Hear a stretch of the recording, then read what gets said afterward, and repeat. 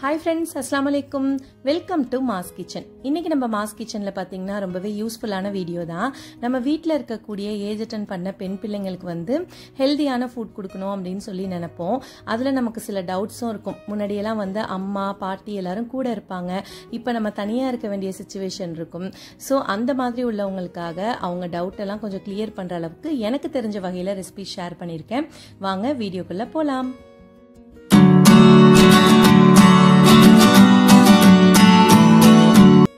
இங்கே பார்த்தீங்கன்னா நான் கருப்பு உளுந்து களி செய்கிறதுக்காக மெஷர்மெண்ட் எடுத்து வச்சுருக்கேன். இந்த கருப்பு உளுந்து வந்து ஏஜிட்டன் பண்ண பிள்ளைங்களுக்கு ரெகுலராக கொடுக்கணும்னு சொல்லுவாங்க. இடுப்புக்கு ரொம்பவே நல்லது அப்படிங்கிறதுக்காக ஒரு கப் கருப்பு உளுந்துக்கு வந்து ஒரு கைப்பிடி இட்லி அரிசி எடுத்து வச்சுருக்கேன். ஒரு ஸ்பூன் வெந்தயமும் எடுத்து வச்சுருக்கேன். இந்த இட்லி அரிசிக்கு பதிலாக நீங்கள் சாப்பாட்டு அரிசியோ பச்சரிசியோ கூட யூஸ் பண்ணிக்கலாம். இப்போ ஒரு கடாய் வச்சுருக்கேன். இதில் ஃபஸ்ட்டு ஒரு கப் உளுந்தை சேர்த்துட்டு நல்லா ட்ரை ரோஸ்ட் பண்ணிப்போம். உளுந்து வந்து நம்ம ரோஸ்ட் பண்ணுறப்ப மீடியம் டு லோ ஃப்ளேமில் வச்சு தான் ரோஸ்ட் பண்ணணும். ஹை ஃப்ளேமில் வைக்கக்கூடாது. ஏன்னா சீக்கிரமாக கரிஞ்சிடும். இந்த அளவுக்கு ரோஸ்ட் ஆன பிறகு இதை வேறு ஒரு பாத்திரத்தில் மாற்றிக்கலாம் இது வறுபட்டோடனே நல்லா வாசமாக இருக்கும். இப்போ வந்து எடுத்திருக்க அரிசியும் சேர்த்துட்டு கூடவே வெந்தயமும் சேர்த்து நல்லா வறுத்து விட்டுருவோம். அரிசியும் வெந்தயமும் பார்த்தீங்கன்னா நல்லா கலர் மாறி வரும். அப்போயே நமக்கு தெரியும் இது நல்லா ரோஸ்ட் ஆயிடுச்சு அப்படின்னு சொல்லிட்டு. இதையுமே நம்ம வந்து ஒரு மீடியம் ஃப்ளேமில் தான் வச்சு நல்லா ரோஸ்ட் பண்ணோம். இப்போ பாருங்கள் வெந்தயம் கலர் சேஞ்ச் ஆயிடுச்சு இல்லையா? இப்போ இதையும் வந்து நம்ம பாத்திரத்துக்கு மாற்றிக்கலாம் இப்போது உளுந்து அரிசி வெந்தயம் மூணுமே வந்து ஒன்றா சேர்த்து இங்கே வச்சுருக்கேன். இதை ஆற வச்சுட்டு மிக்சி ஜாரில் என்ன பண்ணுவோம்? சேர்த்துட்டு நல்லா பவுட்ரு பண்ணிப்போம். இந்த மெத்தடில் நீங்கள் உளுந்து களி செஞ்சு கொடுத்து பாருங்கள் பசங்க இன்னொரு தடவை கேட்டு வாங்கி சாப்பிடுவாங்க. அவ்வளோ டேஸ்ட்டாக இருக்கும். ஹல்வா மாதிரியே இருக்கும். அப்படியே நல்லெண்ணெய் சேர்த்து சாப்பிடும் போது எவ்வளோ சாப்பிட்றோம் அப்படின்னு அளவே தெரியாது. அந்த அளவுக்கு இருக்கும். இப்போ இதை மிக்சி ஜாரில் சேர்த்துட்டேன். முடிஞ்ச அளவு நைஸ் பவுடராக செஞ்சு எடுத்துகிட்டு வந்துருங்க. உங்களுக்கு இப்போ பார்க்கும் போதே தெரியும் பாருங்கள் எந்த அளவுக்கு நான் பவுட்ரு பண்ணியிருக்கேன் அப்படின்னு சொல்லிட்டு. இந்த அளவுக்கு பவுட்ரு பண்ணி தனியாக வச்சுக்குவோம். இப்போ நான் ஒரு கட்டி வெல்லம் எடுத்திருக்கேன். இது நல்லா டார்க் வெள்ளமாக பார்த்து நான் வாங்கிட்டு வந்திருக்கேன். இதை நல்லா உடச்சி விட்டுட்டு நம்ம பாத்திரத்தில் சேர்த்துட்டு பாகு காய்ச்சி எடுத்துகிட்டு வந்துக்கலாம். இந்த மாதிரி ஒரு பாத்திரத்தில் சேர்த்தாச்சு. நம்ம எந்த கப்பில் மெஷர் பண்ணோமோ அதே கப்லேயே வந்துட்டு ஒன்றரை கப் வந்து தண்ணி சேர்த்துக்கிறேன். சேர்த்து இதை இப்போ அடுப்பில் வச்சுருவோம். இந்த வெள்ளப்பாக வந்து நம்ம கம்பி பதம்லாம் காய்ச்சணும் அப்படின்னு அவசியம் இல்லை. ஜஸ்ட் இந்த வெள்ளம் வந்து மெல்ட் ஆகிறதுக்கு தான். அது மட்டும் இல்லாமல் வெள்ளத்தில் வந்து தூசி மண்ணெல்லாம் இருக்கும் இல்லையா? அதையும் நம்ம வடிகட்டின மாதிரி இருக்கும். அதுக்காக தான் கொதிக்க வைக்கிறோம். இப்போ நல்லா கொதி வந்து வெள்ளம்லாம் மெல்ட் ஆயிடுச்சு. இதை வந்து நம்ம வடிகட்டிக்கலாம். நீங்கள் வெள்ளத்துக்கு பதிலாக இதில் கருப்பட்டி கூட இதே மெஷர்மெண்ட்டில் சேர்த்து செய்யலாம். டேஸ்ட்டு ரொம்பவே சூப்பராக இருக்கும். நான் யூஸ்வலாக வந்து வெள்ளத்துலேயே செய்வேன். இந்த மாதிரி டார்க் வெள்ளமாக வாங்கி செய்வேன். டேஸ்ட்டு அட்டகாசமாக இருக்கும். இப்போ வடிகட்டியாச்சு இதை தனியாக வச்சுக்குவோம். இங்கே ஒரு பாத்திரத்தில் பார்த்தீங்கன்னா நான் அதே மெஷர்மெண்ட் கப்பில் அதாவது நம்ம கருப்பு உளுந்து அளந்தோம் இல்லையா அதில் வந்து மூணு கப் தண்ணி எடுத்து வச்சுக்கிறேன். மொத்தம் நமக்கு வந்து நாலரை கப் தண்ணி அளவு வந்து கரெக்டாக இருக்கும் கழிக்கின்றதுக்கு. இப்போ இதில் மூணு எடுத்து தனியாக வச்சுக்குவோம்.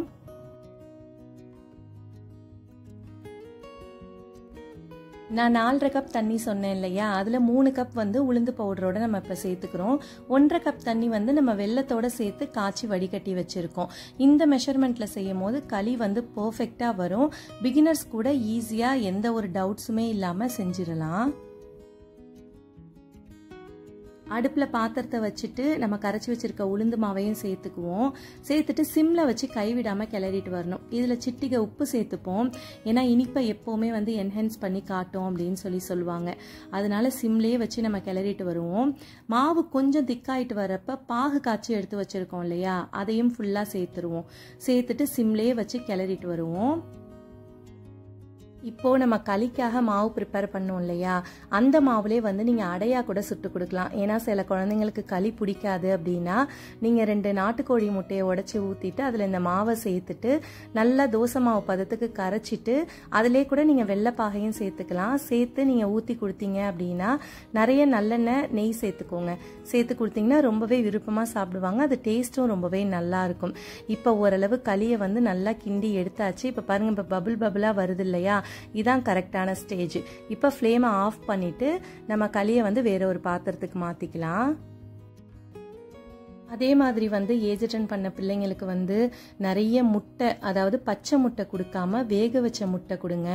நல்லெண்ணெய் நிறைய சேர்த்து கொடுங்க. தோசையில் இந்த மாதிரி களியில் வந்து குழி பறிச்சோ இல்லை இந்த மாதிரி மேலாகவோ நிறைய நல்லெண்ணெய் சேர்த்து அவங்களுக்கு கொடுக்கும் போது அதுவுமே ரொம்ப சத்து அப்படின்னு சொல்லி சொல்கிறாங்க இப்படி சுட சுட நீங்கள் களி கிண்டி கொடுத்து பாருங்களேன். பசங்க ரொம்பவே என்ஜாய் பண்ணி இன்னும் கொஞ்சம் கொடுங்கம்மான்னு கேட்டு வாங்கி தான் சாப்பிடுவாங்க. அடுத்து பார்த்தீங்கன்னா இது வந்து சதக்குப்பன்னு சொல்லி எங்கள் ஊர் சைடு சொல்லுவாங்க. இங்கிலீஷில் இதோட பேர் பார்த்தீங்கன்னா டில் சீடுன்னு சொல்லி சொல்லுவாங்க. பார்க்கறதுக்கு வந்து சீரகம் மாதிரியே இருக்கும். ஆனால் இதோட அரோமா பார்த்தீங்கன்னா டிஃப்ரெண்ட்டாக இருக்கும். கொஞ்சம் அந்த மின்ட் ஃப்ளேவர் கலந்த மாதிரி ரொம்பவே டேஸ்ட்டாக இருக்கும். இதில் என்ன பண்ணுவாங்க அப்படின்னா தேங்காய் பால் புழிஞ்சிட்டோ இல்லை பருத்தி பால்லையோ வந்து இதையும் சேர்த்து அரைச்சி இதில் ஒரு சாப்பாடு மாதிரி செய்வாங்க ரைஸ் மாதிரி. அதாவது சதக்குப்பை சோறுன்னு சொல்லி சொல்லுவாங்க. டேஸ்ட்டு ரொம்பவே நல்லா இருக்கும். அது வந்து இப்போ எப்படி செய்கிறதுன்னு பார்க்கலாம். இந்த சதக்குப்பை வந்து இடுப்பு வலி கை கால் குடைச்சல் இது எல்லாத்துக்குமே ரொம்ப நல்லது. அதே மாதிரி கர்ப்பப்பைக்கும் வந்து ரொம்பவே நல்லது அப்படின்னு சொல்லி சொல்லுவாங்க. இப்போ இந்த சதக்குப்பை நான் எடுத்து வச்சுருக்கேன். இது கூட தேங்காவும் எடுத்து வச்சிருக்கேன். இப்போ இது ரெண்டையும் சேர்த்து அரைச்சி நம்ம பால் புழிய போகிறோம் இதில் வந்து நான் ஒரு தேங்காவை வந்து கீறி எடுத்து வச்சுருக்கேன். நம்ம மிக்சி ஜாரில் வந்து தேங்காவையும் சேர்த்துட்டு இந்த சதக்குப்பை பார்த்தீங்கன்னா ஒரு ரெண்டு கைப்பிடி அளவு இருக்கும். இந்த மாதிரி வடிகட்டியில் சேர்த்துட்டு நல்லா நான் அலசிக்கிட்டேன். ஏன்னா அதில் ஏதாவது தூசி மண் இதெல்லாம் இருக்கும் இல்லையா? அலசிட்டு மிக்சி ஜாரில் சேர்த்துட்டு இப்போ அரைச்சிட்டு வந்துடலாம். அரைச்சிட்டு வந்தாச்சு நம்ம பால் வந்து இதில் புழிஞ்சுக்குவோம். நம்ம எப்பவும் போல் ஒன்றாம் பால் ரெண்டாம் பால் அந்த மாதிரி கொஞ்சம் திக்காக எடுப்போம் இல்லையா? அந்த மாதிரி எல்லாத்தையுமே சேர்த்து ஒரே பாலாகவே நம்ம எடுத்து வச்சிடலாம். பொதுவாக வந்து நம்ம பொம்பளை பிள்ளைங்க ஏஜ் அட்டன் பண்ணிட்டா ஏழாம் நாள் பதினோராம் நாள் அப்படிலாம் தலைக்கு தண்ணி ஊற்றுறதுன்னு செய்வோம் இல்லையா? எங்கள் ஊர் சைடு அது மாதிரி இருக்கும். அப்போ பதினோராம் நாள் வந்து தலைக்கு தண்ணி ஊற்றுறது அப்படின்னு செய்யும் போது அப்போ இந்த சதக்குப்பை சோறு வந்து செஞ்சு கொடுப்பாங்க. இது கூடவே நிறைய நல்லெண்ணெய் சேர்த்து நாட்டுக்கோழி வாங்கி குழம்பு மாதிரி வச்சு கொடுப்பாங்க. இது கூடவே வந்து ஃபிஷ் கிரேவி ஃபிஷ் ஃப்ரை இந்த மாதிரிலாம் வச்சு சாப்பிடும் போதும் டேஸ்ட்டு ரொம்பவே நல்லாயிருக்கும் இப்போ நம்ம வந்து பால் ரெடி பண்ணி எடுத்து வச்சாச்சு. சாப்பாடு வந்து தாளிக்க ஆரம்பிச்சிடலாம்.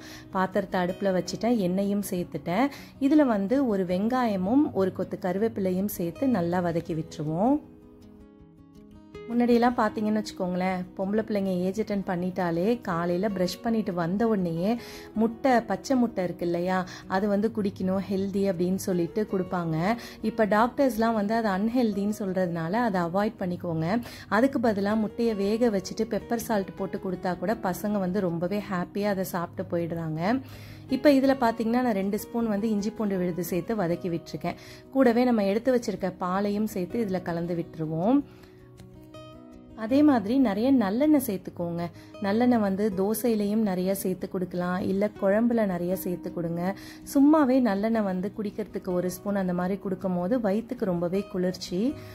இப்போ இதில் வந்து தேவையான அளவு உப்பு சேர்த்துட்டேன். அரிசிக்கு தேவையான அளவு எக்ஸ்ட்ரா தண்ணியும் சேர்த்தாச்சு. கொதி வந்த பிறகு நல்ல ஒரு கைப்பிடியிலேருந்து ரெண்டு கைப்பிடி புதினாவும் சேர்த்து கலந்து விட்டோம்னு வச்சுக்கோங்களேன். இந்த சதக்குப்பையோட ஃப்ளேவருக்கும் புதினாவோட அரோமாக்கும் ரொம்பவே டேஸ்ட்டாக இருக்கும் சாப்பாடு. அரிசியும் களைஞ்சி எடுத்துகிட்டு வந்தாச்சு. அதையும் வந்து இதில் சேர்த்துக்குவோம். இப்போ நம்ம நிறைய வந்து சிறுதானியம்லாம் யூஸ் பண்ண ஆரம்பிச்சிட்டோம். அதுலேயும் வந்து கம்பு பார்த்திங்கன்னா ரொம்பவே நல்லது. ஏஜ் அட்டன் பண்ண பிள்ளைங்களுக்கு வந்து நிறைய கொடுக்கலாம் அப்படின்னு சொல்லி சொல்கிறாங்க அதில் இட்லி தோசை மாவு மாதிரி ப்ரிப்பேர் பண்ணி கொடுங்க. முன்னாடியெல்லாம் பார்த்தீங்கன்னா இந்த கம்பு மாவில் தேங்காய் பால் சேர்த்து பணியாரம்லாம் செய்வாங்க. அதோட ரெசிபியும் வந்து நான் ஃப்யூச்சர் வீடியோஸில் ஷேர் பண்ணுறேன் முடிஞ்ச அளவு நம்ம எப்படி செஞ்சு கொடுத்தா பசங்க சாப்பிடுவாங்களோ அப்படி தான் நம்ம வந்து விதவிதமாக பார்த்து பார்த்து செய்ய வேண்டியதாக இருக்குது இப்போ சாப்பாடு பார்த்தீங்கன்னா தம் போட்டு இறக்கியாச்சு. பத்து நிமிஷம் தம் போட்டிருப்பேன். வாசனை அவ்வளோ சூப்பராக இருந்தது. அந்த தேங்காய் பால் சதக்குப்பை புதினா இது எல்லாத்துடைய அரோமாவும் வந்து ரொம்ப நல்லா இருந்துச்சு. சாப்பாடும் பொல பொலன்னு உதிரியாக வந்துருந்துச்சு.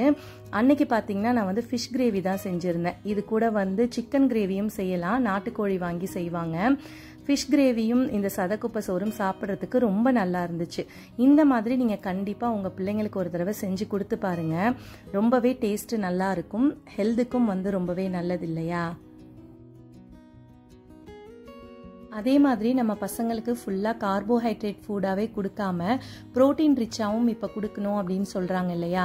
அதுக்காக ஒரு தோசை மாவு ப்ரிப்பேர் பண்ணிக்கலாம். இதுக்கு பார்த்தீங்கன்னா நான் திணை வரகு கருப்பரிசி பச்சைப்பயிறு கொள்ளு கருப்பு கொண்டக்கடலை கடலைப்பருப்பு கருப்பு உளுந்து ராஜ்மா வெள்ளை கொண்டக்கடலை இது எல்லாமே வந்து கால் கால் கப்பு எடுத்திருக்கேன். இது வந்து நவதானிய தோசைன்னு சொல்லலாம். இதில் வந்து நீங்கள் ஏதாவது சேஞ்ச் பண்ணுன்னா காராமணி இல்லை மற்ற மற்ற ஐட்டம்ஸ் எதுவும் சேஞ்ச் பண்ணணுன்னா கூட நீங்கள் சேஞ்ச் பண்ணி போடலாம். இதில் நீங்கள் ராகி கூட சேர்த்துக்கலாம். எக்ஸ்ட்ரா வேறு ஏதாவது கம்பு அந்த மாதிரி கூட நீங்கள் சேர்த்து ப்ரிப்பேர் பண்ணலாம். இப்போ இதை எல்லாத்தையும் ஒரு பாத்திரத்தில் சேர்த்துட்டு நம்ம ஓவர் நைட் வந்து ஊற வச்சுக்கலாம். இந்த மாதிரி நம்ம கொண்டக்கடலை பச்சைப்பயிறு இதெல்லாம் சுண்டலாக வேக வச்சு கொடுக்கலான்னு பார்த்தாலும் பசங்க வந்து ஒரு நேரம் சாப்பிடுவாங்க இன்னொரு நேரம் வந்து வேண்டாம் அப்படிங்கிற மாதிரி ஒதுக்கிடுறாங்க. இப்படி நம்ம ப்ரிப்பேர் பண்ணி கொடுக்கும் போது அவங்க ஈஸியாக சாப்பிட்றதுக்கும் நல்லா இருக்கு. ஃபர்ஸ்ட்ல வந்து என்னது இது கலர் டிஃப்ரெண்ட்டாக இருக்குன்னு கேட்டாலும் டேஸ்ட்டு பிடிச்சி போயிடுது அப்படின்னா நல்லாவே சாப்பிட்டுறாங்க. இது மாதிரி செஞ்சு கொடுங்க. இதில் வந்து உங்களுக்கு ஒரு டவுட் வரலாம். இது என்னடா இதில் கொள்ளு சேர்த்துருக்காங்களே இது எப்படி கொள்ளு ஹீட் ஆச்சு அட்டன் பண்ண பிள்ளைங்களுக்கு கொடுக்கலாமா அப்படின்னு சொல்லிட்டு கொள்ளு வந்து ஹீட்டு தான். இருந்தாலும் கர்ப்பப்பைக்கு வந்து ரொம்பவே நல்லது. அதுவும் இல்லாமல் நம்ம நிறைய கொள்ளு இதில் சேர்க்கல. ஒரு கால் கப் மாதிரி தான் சேர்த்துருக்கேன். இதில் அயன் கண்டென்ட்டும் ஜாஸ்தியாக இருக்குன்னு சொல்கிறதுனால ரொம்பவே நல்லது. இப்போ இந்த எல்லாத்தையும் சேர்த்து தண்ணி சேர்த்து ஊற வச்சுக்கலாம். பொதுவாக சிறுதானியங்களில் பார்த்தீங்கன்னா கொஞ்சம் மண் தூசு இதெல்லாம் இருக்கும். அதனால தண்ணி சேர்த்துட்டு ரெண்டு மூணு தடவை நல்லா அலசிட்டு களைஞ்சிட்டு அதுக்கப்புறம் தண்ணி சேர்த்து ஊற வச்சுக்கோங்க. ஓவர் நைட் ஊற வச்சா போதும். நல்லா சூப்பராக ஊறி வந்துடும் எல்லாமே. பசங்களுக்கு பார்த்தீங்கன்னா பொட்டுக்கடலையும் வந்து நிறைய சேர்த்துக்கலாம் அப்படின்னு சொல்லி சொல்கிறாங்க அதனால நீங்கள் பொட்டுக்கடலையில் வந்து நிறைய வெல்லம் சேர்த்து பொட்டுக்கடலை உருண்டையாவோ இல்லை பொட்டுக்கடலை சட்னி இல்லை சும்மாவே சாப்பிடுவாங்க அப்படின்னா அது கூட நீங்கள் வந்து கொடுக்கலாம். இப்போ இது பாருங்கள் மறுநாள் வந்து நல்லா ஊறி வந்துருச்சு. ராஜ்மாலாம் நல்லா குண்டு குண்டுன்னு ஊறி வந்துருச்சு. இப்போ இதை வந்து மிக்சி ஜாரில் சேர்த்து நம்ம அரைச்சாலே மாவு சூப்பராக ரெடி ஆகிடும் அதே மாதிரி நம்ம எல்லாருக்கும் தெரிஞ்சது தான் பசங்களுக்கு வந்து நிறைய வெஜிடபிள்ஸ் ஃப்ரூட்ஸு கீரை இதெல்லாம் கொடுக்கணும். ஆனால் இதெல்லாம் எப்படி கொடுத்தா அவங்க சாப்பிடுவாங்க அப்படிங்கிறது நமக்கே கன்ஃபியூஷனாக இருக்கும். என்ன பண்ணுறது முடிஞ்ச அளவு வந்து வடையாவோ கட்லட்டாவோ இல்லை இப்போ மோமோஸ்லாம் பசங்க லைக் பண்ணி சாப்பிட்றாங்க இல்லையா? அதில் நிறைய வெஜிடபிள் ஸ்டஃபிங் பண்ணி இப்படி தான் கொடுக்க வேண்டியதாக இருக்குது கீரையெல்லாம் பார்த்தீங்கன்னா கீரை வடை அந்த மாதிரி செஞ்சு கொடுங்க. வாழைப்பூ வடை. அதே மாதிரி வந்து வெஜிடபிள்ஸ் வந்து மிக்ஸ்டு வெஜிடபிள்ஸ் வந்து கட் கட்லெட் மாதிரி செஞ்சு நம்ம கொடுக்கலாம். இப்படி தான் நம்ம யோசித்து பசங்களுக்கு கொடுக்க வேண்டியதாக இருக்குது இது கூட பார்த்தீங்கன்னா இந்த சத்து மாவு இருக்கு இல்லையா? அந்த உருண்டையும் வந்து ஏஜ் அட்டன் பண்ண பிள்ளைங்களுக்கு நிறைய கொடுக்கலாம். சத்து மாவு உருண்டையில் வந்து வெல்லம் நிறைய சேர்த்து கொடுக்கும் போது அவங்களுக்கு ரொம்பவே நல்லது. அந்த மாதிரி ப்ரிப்பேர் பண்ணி பாருங்கள் இப்போ மாவு வந்து நல்லா அரைச்சிட்டேன். இதிலே வந்து உப்பு சோடா உப்பு சேர்த்து நல்லா கரைச்சி விட்டுட்டு ஒரு எட்டு மணி நேரம் வந்து நம்ம புளிக்க வச்சுக்கலாம். அதுக்குள்ளே மேக்ஸிமம் இந்த மாவு புளிச்சிரும். ஏன்னா வந்து நிறைய வந்து இந்த மல்டி கிரெயின் சேர்த்துருக்கிறதுனால. இப்போ இதை மூடி போட்டு புளிக்க விட்டுறலாம். இந்த மாவில் வந்து நல்லா கிறிஸ்பியாக தோசை ஊற்றிட்டு நிறைய நல்லெண்ணெய்யோ நெய்யோ சேர்த்து கொடுக்கும் போது பசங்க ரொம்பவே லைக் பண்ணி சாப்பிடுவாங்க. இதுக்கு தொட்டுக்கிறதுக்கு வந்து தக்காளி சட்னியோ தேங்காய் சட்னியோ அவங்களுக்கு என்ன பிடிக்குமோ அந்த மாதிரி செஞ்சு கொடுங்க. ரொம்பவே வந்து என்ஜாய் பண்ணி இன்னும் தோசை கொடுங்கம்மான்னு சொல்லிட்டு கேட்டு வாங்கி சாப்பிடுவாங்க. நமக்கும் டென்ஷன் ஃப்ரீயாக இருக்கும்னு வச்சுக்கோங்களேன். இன்றைக்கி இந்த வீடியோவில் நான் ஷேர் பண்ண டிப்ஸ் எல்லாமே உங்களுக்கு யூஸ்ஃபுல்லாக இருக்கும்னு நினைக்கிறேன். பிடிச்சிருந்தா லைக் பண்ணுங்கள் ஃப்ரெண்ட்ஸ் அண்ட் ஃபேமிலிக்கு ஷேர் பண்ணுங்கள் மறக்காமல் மாஸ் கிச்சனை சப்ஸ்கிரைப் பண்ணிக்கோங்க. தேங்க்ஸ் ஃபார் வாட்சிங் பபாய்